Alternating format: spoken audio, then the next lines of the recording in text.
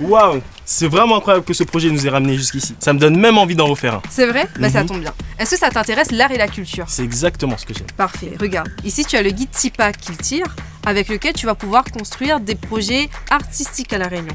Mhm. Donc là-dedans, tu vas pouvoir trouver des astuces et des conseils d'artistes locaux Mhm. et de professionnels, mais aussi des informations pratiques. Je peux regarder Bien sûr, c'est pour toi. Le guide Tipa Kiltir offre une ligne de conseils et d'astuces prodiguées par des professionnels et des artistes, ainsi que des informations pratiques essentielles pour concrétiser votre projet culturel et artistique avec succès.